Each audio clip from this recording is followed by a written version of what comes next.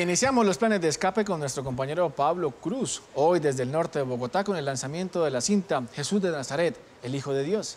Pablo, buenos días, entréguenos toda la información con respecto a esta cinta. Adelante. Muy buenos días, Aníbal. Qué bueno tenerlo usted a esta hora de la mañana en City Noticias de las 12. Pues yo me encuentro acá en el norte de Bogotá, como usted lo dice, miren, con Jesús de Nazaret, el Hijo de Dios. La película que llega a la cartelera este 18 de abril. Aquí está con nosotros los protagonistas.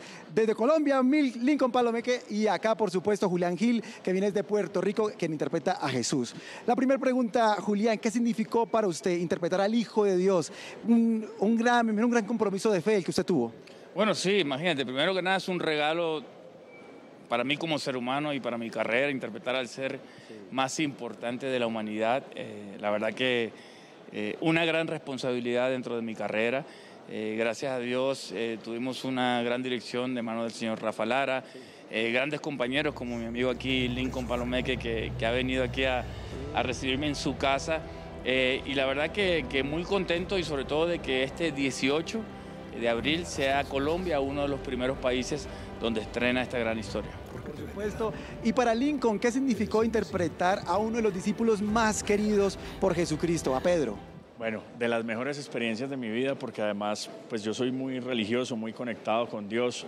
Haber estado ahí viviendo su entorno, sus pasos, su historia, eh, meternos, todo, compartir además con todo el elenco, pues que es un elenco súper internacional, ser como la cuota colombiana ahí, pues para mí es un placer, de verdad que eh, yo quiero hacer una invitación especial porque todos conocemos la historia de Dios, pero es la primera vez que la vamos a contar con, con actores latinos en español, caras conocidas, entonces vale la pena porque está muy bien hecha.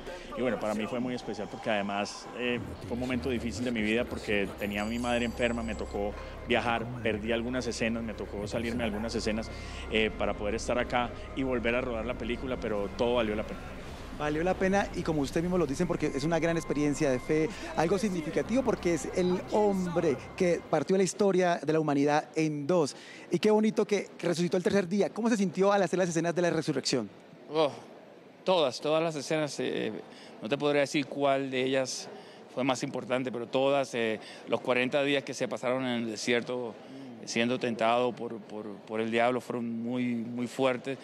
El Via Crucis, eh, eh, la crucifixión, la relación con cada uno de los apóstoles, por ejemplo, en el caso de Lincoln, de, de Mauricio Nao, también colombiano, Eugenio Siller, Santiago Ramundo, que eran compañeros que estuvieron todo el tiempo conmigo en la película. O sea, tú los ves y nunca vas a ver a Jesús solo, porque obviamente una de las uno de los legados más importantes que él hizo fue pues, crear esta relación con los apóstoles, eh, que se, tradujo de alguna manera en lo que es hoy la fe cristiana, o sea, seguir de alguna manera a Jesús. Gracias, Julián. Pues rápidamente, Lincoln, invita al público de City TV a que los acompañe en las salas de cine. Bueno, 18 de abril, eh, una invitación a toda la gente en Colombia. Eh, tenemos el privilegio de ser uno de los dos primeros países de tener la película, el otro es Brasil estreno en Colombia, vale la pena, la historia de Jesús que todos conocemos, contada en español. En español. Claro que sí. Por ahora los invito a ustedes, no se me vayan a ir porque más adelante continuamos con más de ustedes y esta gran película de fe. Y por ahora los invito a ver lo que está pasando en el mundo del entretenimiento y regresamos con más desde el norte de Bogotá.